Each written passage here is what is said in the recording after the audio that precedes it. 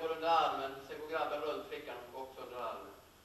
En, två, tre, fyra, fem, sex, sju,